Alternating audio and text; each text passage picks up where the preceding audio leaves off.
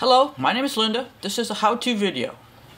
Sometimes I send a list to someone and they can't seem to get it on their BK and take a look at the list that I've created. So this is a how to do that. We'll start by you've downloaded the list to your computer.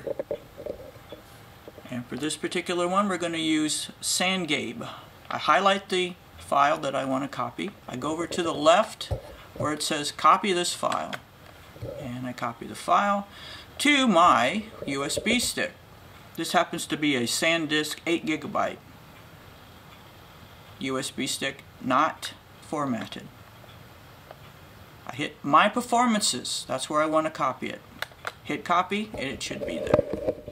Now we'll go back over to the BK, take the stick out of the computer and into the back of the BK.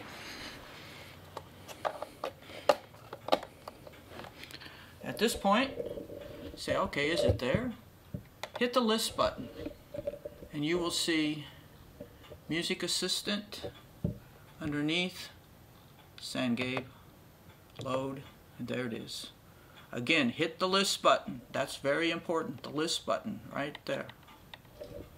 Right there, list button. Okay, that's how to do it, very simple. Hope this helps you. Have fun with your BK. Thanks.